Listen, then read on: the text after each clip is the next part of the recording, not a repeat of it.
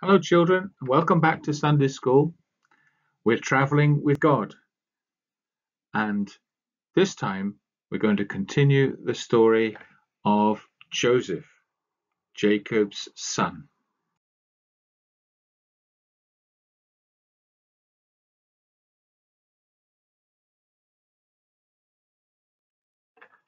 Do you remember how Jacob gave Joseph, who was his favorite son, a coat of many colors to show how much he loved him?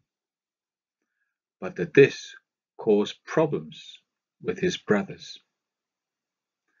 A beautiful coat full of colors did Joseph receive from his dad, and Joseph did tell on his brothers, so they became jealous and mad.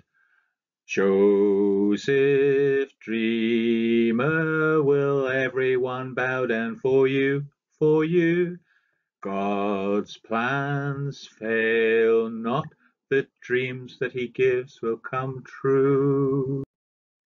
Do you remember how Joseph's brothers captured him and threw him in a well, and they then sold him to Ishmaelites traveling on their camels to Egypt?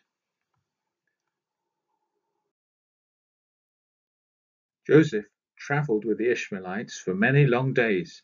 Finally, after a long journey through the hot desert, they came to the fertile land of Egypt. There everything was beautiful and green, watered by the mighty Nile River. Here Joseph was sold as a slave to a rich soldier named Potiphar, who was the captain of Pharaoh's guard. Pharaoh was the king of the land of Egypt. Of course, since Potiphar was one of his high officers, he lived in a very fine house and had a great many servants. This was a strange life to Joseph.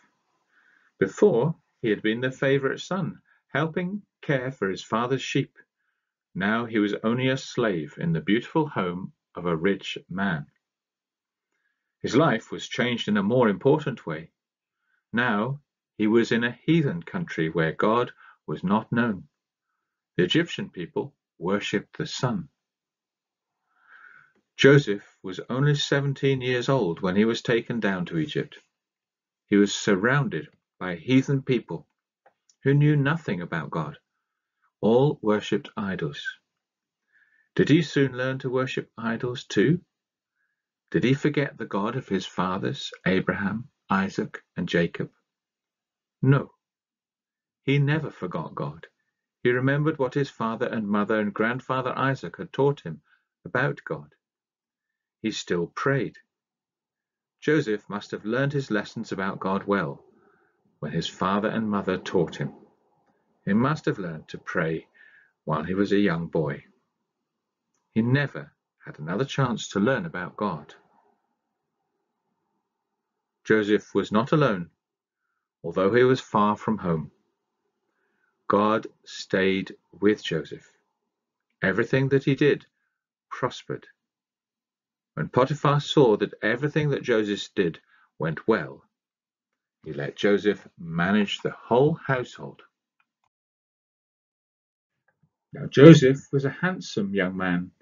His mother Rachel had been very beautiful, and Joseph looked much like her. Because he was good looking, Potiphar's wife fell in love with him.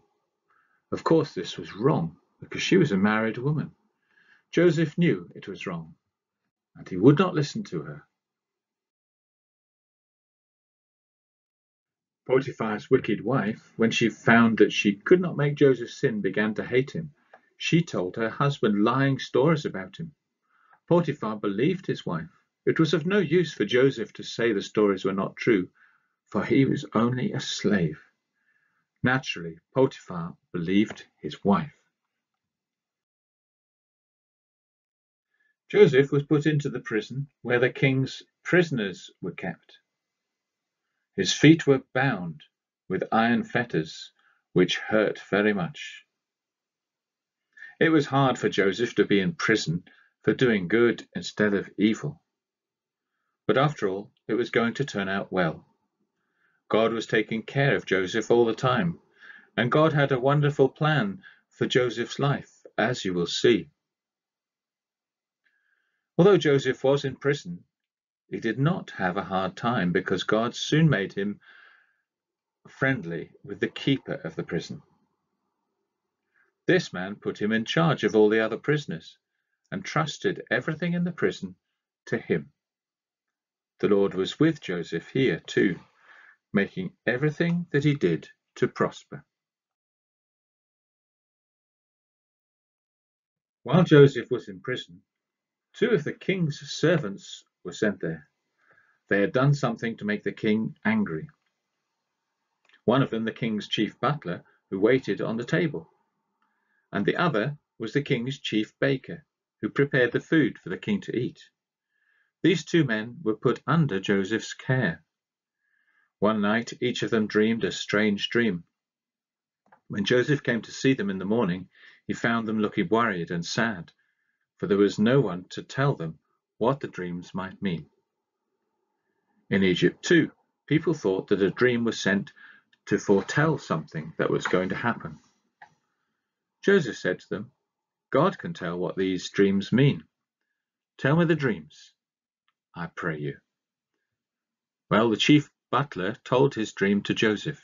He said, In my dream I saw a grapevine which had three branches, with blossoms and ripe grapes on it. And Pharaoh's cup was in my hand, and I took the grapes and squeezed them into Pharaoh's cup, and gave the cup to Pharaoh to drink from. Joseph said, This is what your dream means. The three branches are three days. In three days, Pharaoh will take you out of the prison and will make you his butler again. You shall give Pharaoh his cup again, as you used to. Don't forget me when you come into favor. Remember me and tell Pharaoh about me, so he will get me out of prison. Truly, I was stolen out of the land of the Hebrews. Since I have been in Egypt, I've done nothing that I should be put into prison for. When the chief baker saw that the interpretation of the butler's dream was good, he told Joseph his dream. I dreamed that I had three white baskets on my head, and the top basket was filled with all kind of good baked foods for Pharaoh to eat. But then the birds came and ate up all the food out of the basket. Then Joseph said, This is what your dream means. The three baskets are three days. In three days, Pharaoh shall lift your head off and shall hang you upon a tree, and the birds shall eat your flesh.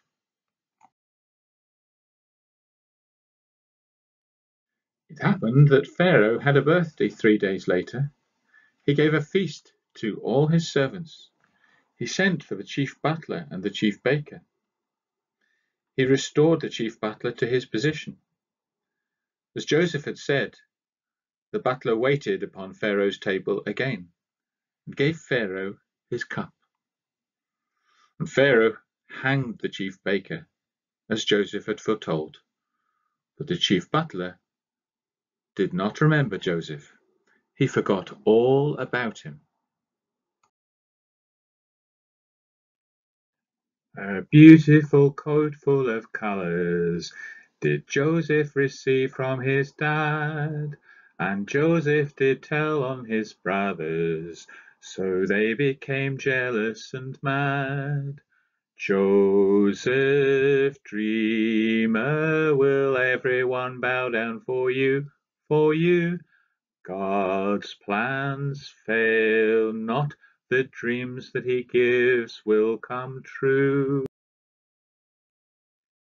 The colourful coat they took off him, like a slave he was offered for sale. Then Potiphar's wife did accuse him, and Joseph was thrown into jail. Joseph, dreamer, will everyone bow down for you, for you? God's plans fail not, the dreams that he gives will come true. The baker and butler were inmates. They dreamed in their prison cell, and Joseph was given God's wisdom so that he the meaning could tell. Joseph, dreamer, will everyone bow down for you, for you? God's plans fail not, the dreams that he gives will come true. Well, next time, children, we'll hear how Joseph got out of prison, even though the butler had forgotten him.